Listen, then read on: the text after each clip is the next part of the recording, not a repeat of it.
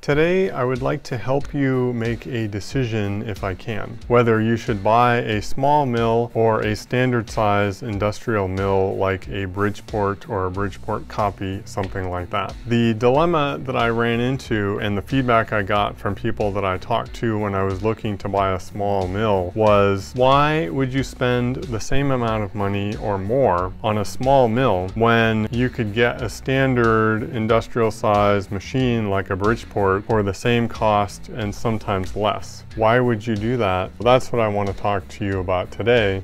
Sort of in a way share with you what my experience was going through that and why I ultimately did decide to continue with the path of buying a small machine first. Maybe you are in the process of deciding which machine to buy, or you're thinking about it and starting to get into machining and metalworking, and the idea of having a machine in your garage has dawned upon you. Hopefully this will be helpful. It's kind of an overview of the thought process and the learning that I went through in buying several of these small mills that we have in the shop today.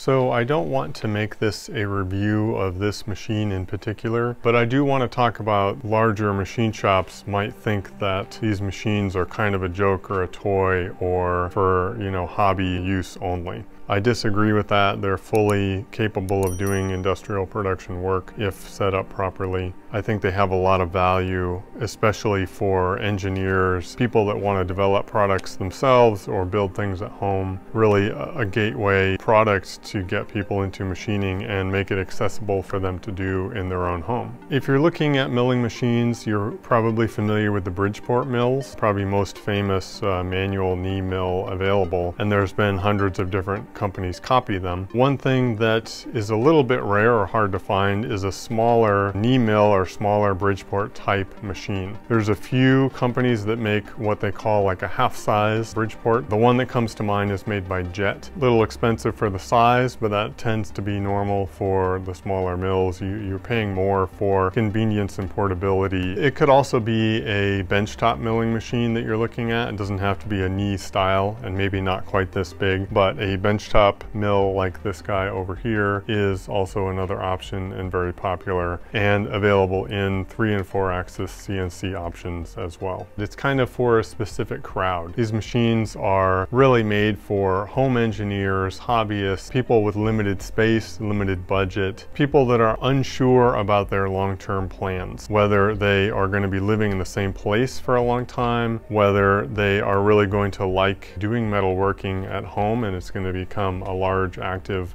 hobby or business for them. Those decisions are kind of what a lot of people are figuring out when they buy something like this. People want to be able to get their feet wet in milling, but may not be ready to jump into a huge machine that they have to pay money and stress and time in to get rid of it if they ever change their mind or move. I hear the term boat anchor a lot. Many people don't want the mental weight of a machine they can only move by forklift instead of with their own hands. Being stuck with that in a way, even if they don't plan on moving or having to sell the machine, for some people it's a emotional weight that they drag around with them. I personally have moved seven times in the last 10 years. They were all positive moves and for good reasons. Luckily I didn't move the shop that many times. Buying equipment can be as stressful as it is fun and people who don't want to move a 2,000 plus pound machine may find something like this, which is thousand pounds, acceptable. You can move it with your own car, with a trailer, with a truck. This one, the small ones, are something you can put on wheels too. So it can be portable and easily rolled around. As far as capacity, a lot of the machines are pretty good quality. This particular machine is the Grizzly G0695. A machine this size in good has close to the same milling capacity as a Bridgeport size mill. The head on this machine is very nice. You have have the Bridgeport style head, but it's just a V-belt on the inside from the motor to the spindle. There's no variable speed in here and there's no pulleys to change to change the speed that you're running. This has a digital spindle control on it with a VFD controlling the motor. You have a regular emergency stop switch,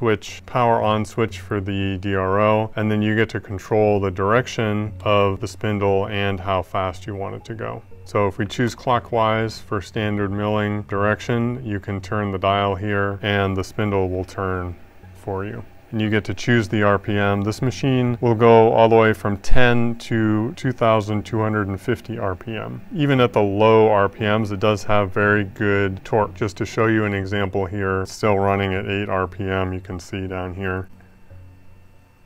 So you have very good control, especially with a machine like this. I can't stop it with my hand, so it still has a lot of torque even at that speed. For small tools and engineering work, you're gonna be able to do some pretty intricate, delicate stuff if you need to.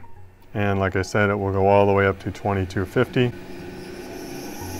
It will spool up with your pot dial. It's very smooth. Some of the Bridgeport style features that this machine and a lot of the knee mills, small knee mills are missing is the power feed in the head. It has a feed that you can engage. So this is your hand feed for the quill for boring, for example. You will screw in this knob in the back to engage it, and then you can crank the quill down with the knob. So it's a manual control, great for boring and doing operations precise uh, diameters like that, but it is manual and you choose the speed and you have to crank it all the way. Not a big deal for most operations you're gonna do. Another thing, it doesn't have a high and low gearbox, so you've got one belt in here and you've got the VFD here, and that's all you get. So you may not be doing a lot of uh, low RPM, very high torque cutting. There's no spindle lock or brake on this machine. When you turn the VFD down, it brakes the motor for you. But it also means you don't have a spindle lock. They put flats on the spindle here and you can put a wrench on there if you need to.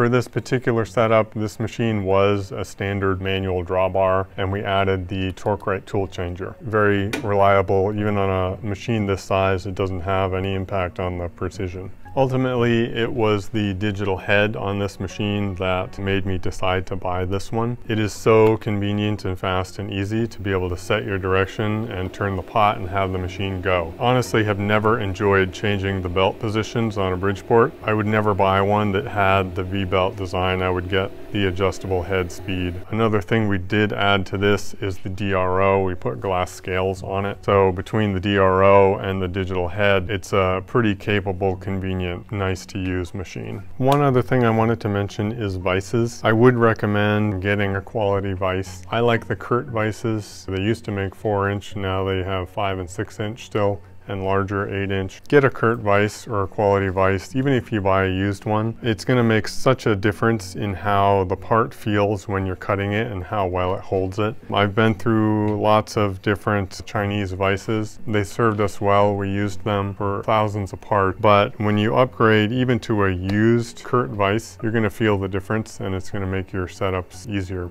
I would highly recommend choosing a machine that has probably R8 tooling like this one. If it's not R8, probably the next most popular one is going to be Morse Taper or something like that. Morse Taper 3 would be another option that has a lot of tooling that's affordable these days. You could use the excuse that buying a smaller machine is going to require smaller tooling, which is going to be cheaper, but I don't think that's a good excuse. The pricing is not going to be that different, and then when you do upgrade to another machine, you're going to be buying bigger, different tooling anyway. So there's that. Other thought on CNC, if you're buying a machine that's not CNC and considering converting it, that can be a very good option, but you have to understand that that's a pretty serious project that you're getting yourself into. If you are not familiar with how mills work and you don't want to spend dozens or hundreds of hours learning about that and researching online and buying parts parts and adjusting parts and making them fit, I would stay away from that. There's lots of kits available. We had considered making this one CNC. That was actually the plan, have it CNC and with the DRO, but we migrated on to bigger machines that were already fitted with controls and this one got left behind. So at this point, it's probably not worth it to do it. Maybe you can continue to use the R8 tooling. There's a, quite a few machines that are quite a bit larger than this that still use R8. So you could have several different generations of your machine buying evolution that uses the same tooling, which could be several thousands of dollars easily.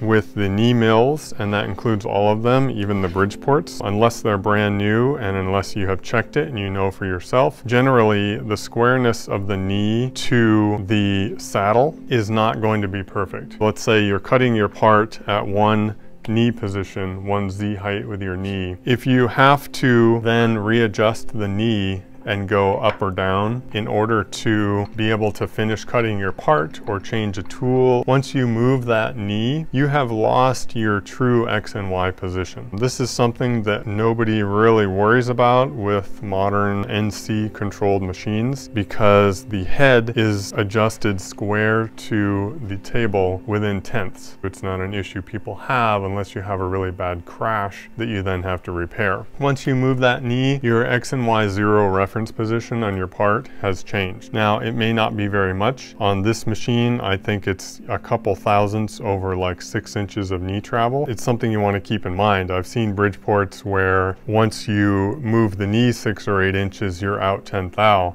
in your position. And that is something that either needs to be fixed or you just ideally, for precise work, you never move the knee on your setup if you can. If you're not familiar with knee mills, that is something to keep in mind. Looking at the price difference. You can buy this machine, for example, we bought new for like 4,000. It's like 5,000 today. I was just looking at it and the prices have gone up again. You could buy a used Bridgeport machine, very cheap one, maybe 2,000, pretty easily three, four, 5,000 for a used one. The drawback to those is a lot of them have been well used and a lot of them need repair. I think that's one of the main reasons that a lot of people shy away from them and would rather buy something smaller and new than a used Bridgeport because they don't want to deal with doing repairs on a machine that they're not familiar with, that they're not sure they're going to love before they even get to use it. And doing work on a Bridgeport is not the easiest thing a lot of the times. There's a lot of specific information about them. You have to be careful about some of the precise fits assemblies that need to be taken care of. You need to know what's worn and when, you know, things need to be replaced. Um, there's a lot to that. That's a whole profession in itself, really. So I'm hoping that this gives you a little bit of an overview of why you might still want to go down down the road of a smaller machine instead of getting something big that you're not sure you're going to love or use that much.